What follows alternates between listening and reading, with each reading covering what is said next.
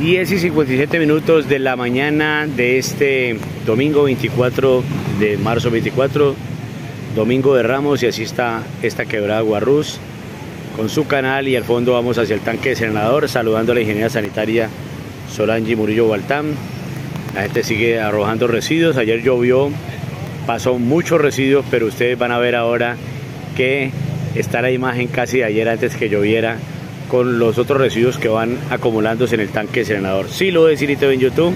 si lo ves en el Facebook y saludando a la ingeniera sanitaria Solange Morillo Bartán en esta mañana cuando nos aproximamos al mediodía de hoy domingo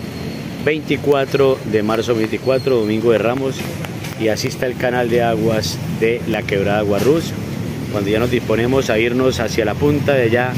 el límite entre las comunas 19 y 20 donde desemboca esta quebrada Guarruz allá en el río Cañonaleo para contarles paso a paso cómo está el comportamiento de esta quebrada después de la lluvia del día anterior. Temperatura 26 grados centígrados, sol picante, sol de lluvia, hoy domingo 24 de marzo de 2024, con el respectivo saludo para la empresa de saneamiento ambiental SAN de la ingeniera sanitaria Solange Murillo.